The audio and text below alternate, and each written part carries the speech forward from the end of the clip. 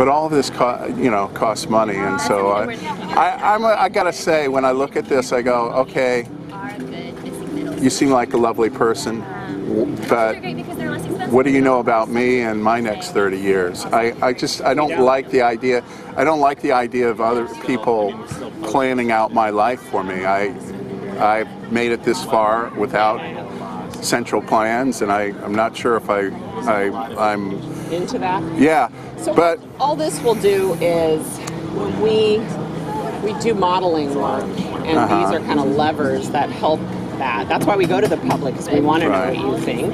So this Okay. is your way to influence that. So this just helps Turn at it a more more like abstract think she's level. caffeinated. How are you? Hi, good. Yeah, we want to.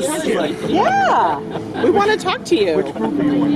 Uh, Metropolitan Transportation Commission. Are? That's good. That's. Anyway, so that's why we do it. Oh, okay. And we, yeah, and it, we manage the transportation funding. That's what our agency knows. What, Okay. You know, so we, that I would like to see in we, addition- this is awesome. um, that's sometimes how we can influence certain housing mechanisms. I think the state is prepared to how, make how's that? I mean, if you're a transportation agency, what? so the things we've done in the past are when um, uh, uh, counties, uh, certain cities d- develop in those their central. They don't do sprawl development. They do more centralized development.